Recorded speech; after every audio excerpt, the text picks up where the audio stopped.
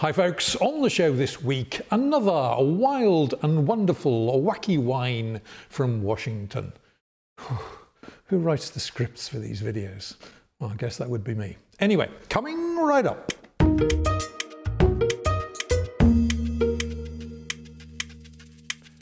Hi guys, welcome to yet another edition of Big on Wine, the show which, uh, as you should know by now, brings you news, clues and reviews Yes, indeed, about everything in the world of wine.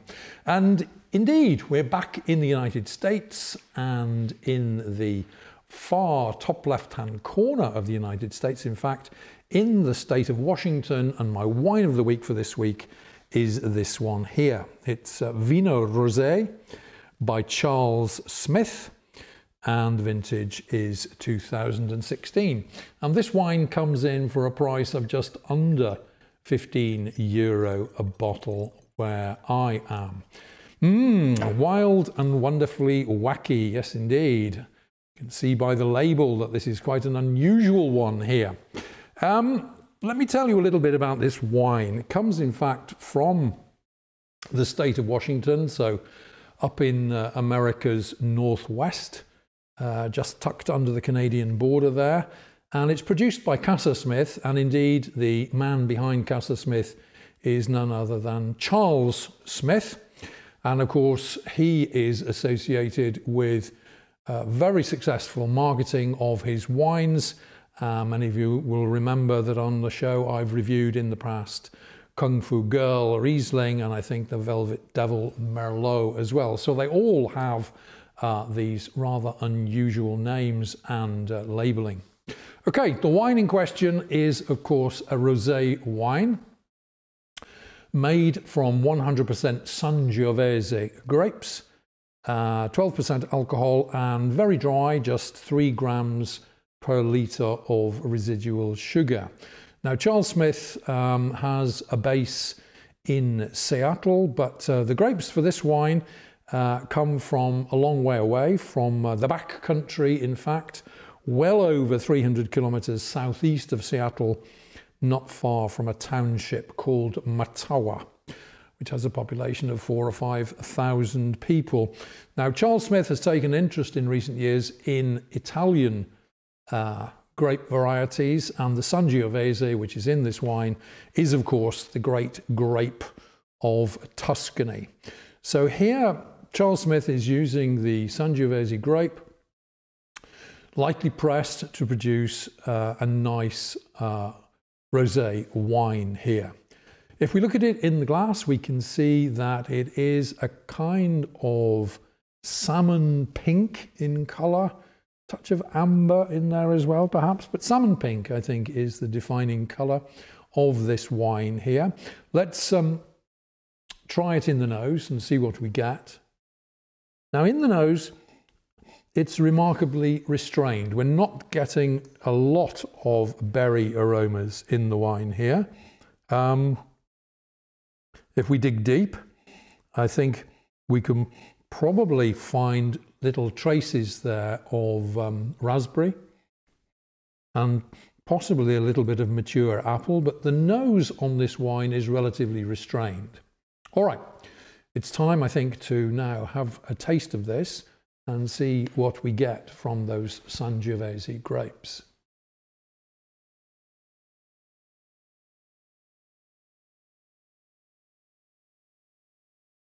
All right, now in the mouth, this wine really begins to open up.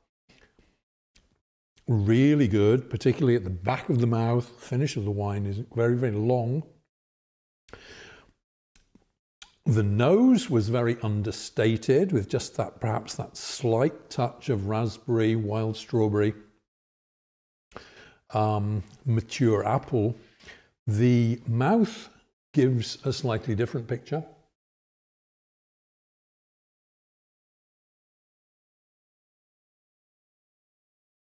In contrast to the nose, in the mouth, this has a very full flavour and it's the strawberry which is now coming through extremely strongly.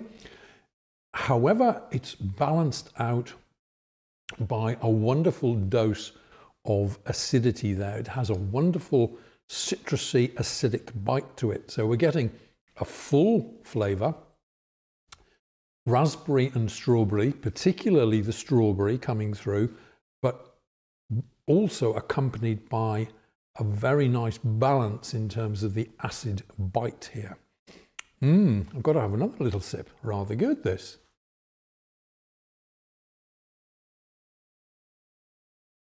Mmm. Yes, indeed. Okay, excellent finish on it. Long strawberry finish on this wine, but not too sweet. Wonderful. All right, now this is a wine, of course, that has to be served cool to cold.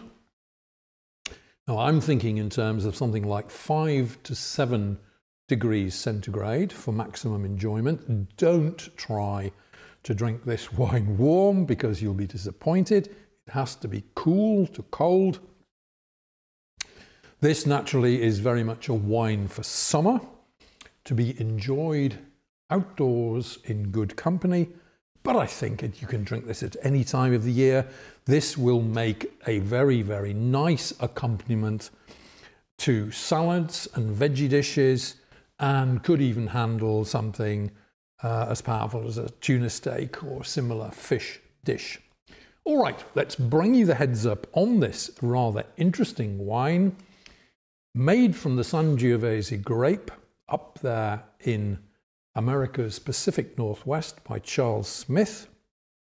Vino Rosé by Charles Smith, 100% Sangiovese, another unusual creation from the great Washington winemaker himself.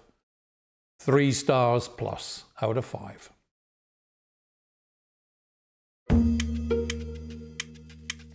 Okay, wine lovers, many, many thanks for checking out this week's video and the little introduction to another wacky number there from Charles Smith, Vino Rosé, Sangiovese 2016 from Washington State in the US of A. Lovely stuff. Okay, if you've enjoyed what you've seen and heard, then please do feel free to give us the big thumbs up, which we appreciate so much. Uh, drop a comment down below. We're always extremely grateful to receive those comments. Share the video around.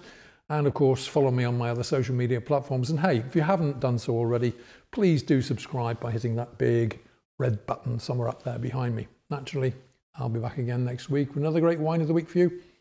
But until we meet again, this is Tony Melville signing off and saying, hey, take care out there. Be good to each other, enjoy your wines, and cheers.